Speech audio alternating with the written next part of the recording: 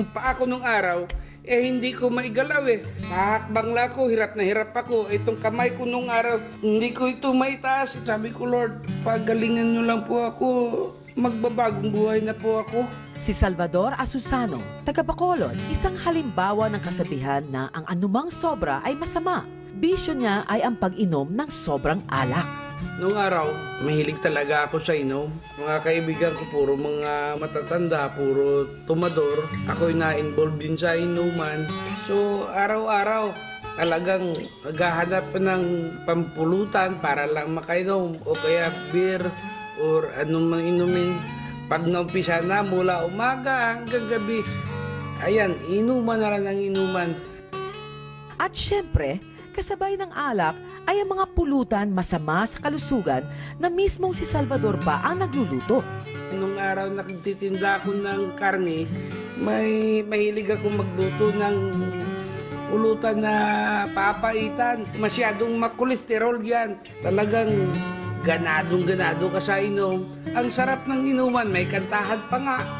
Halos araw-araw ang ginawa niyang pag-abuso sa kanyang sarili dahil sa bisyo para wala nang bukas ang pag-inom na ginawa niya.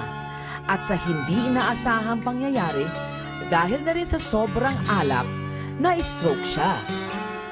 So, na-stroke ako. Ibig sabihin, nung may tama na ako ng stroke, kabingi bunganga ko, luwa, luwa yung mata ko, Sa nangyari sa kanya, labis ang naging pagsisisi ni Salvador. wala na akong ginawa kundi mag-pray na mag-pray sa kay Lord.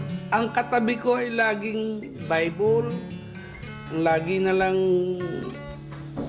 naghihinagpis ang pagmumuka ko na, na talagang nawala ang sigla.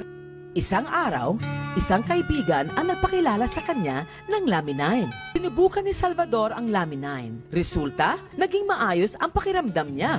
Na nainom ko yung Laminine, ang galing ng pakiramdam ko. After two or three days, doon ko na naramdaman na ang sigla ko na ang, ang mga ugat ko parang para akong si Incredible Hulk na talagang ang lakas ko na sumigaw kaagad ako, Wow! I feel good! Ang galing! Ang galing! Jesus is so good! Di ba? Nung na-stroke siya, talagang parang vegetable siya. Hindi siya makalakad, inaalalayan namin upang makapunta ng, ng CR. Sa tulong ng may kapal at ng Laminine na hatid ni Susan Barlin sa bansa, umaasa si Salvador na tuloy-tuloy na ang pagbuti ng kanyang kalusugan. Ma-address mo agad yung taong nagka-stroke. Ang tinatawag, act fast. Fast means letter F. Yung face niya, madedetermine mo kung meron bang asymmetry, hindi na pantay. O yung letter A, doon yung arms, try nyo pa taas. Then yung speech niya, ipatry nyo pasalita kung slurred na yung speech niya. And one of the important factor doon, yung time. Time is very precious. Kaya kung pwede, dalhin nyo agad sa hospital. Kasi in the first 30 minutes, merong pwedeng gawin sa hospital na could uh, really reverse yung outcome ng stroke niya. Kasi katulad niyan sabi ni Dr. Ramirez, meron tayong tinatawag sa stroke na yung parang black at saka bleed. Yung tinatawag nating black, yun yung nagbara. So pag nabarahan yung area na sinusuplayan ng blood na yun, so walang oxygen, walang nutrients, na, namamatay. Kung yun yung area na para sa kamay, so malamang yung kamay niya may weakness o hindi niya na move o yung sa speech niya.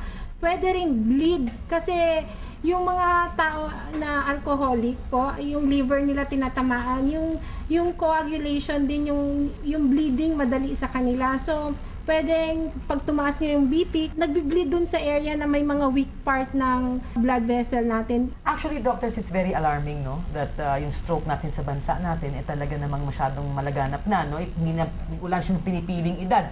Meron kaming, uh, meron akong case na friend na naglalaro ng badminton in the middle of the court, 30 years old, eh, sumakit ang dibdib, on the spot namatay. Could you please explain to our audience how Laminine was able to repair, no? Yung kanilang condition?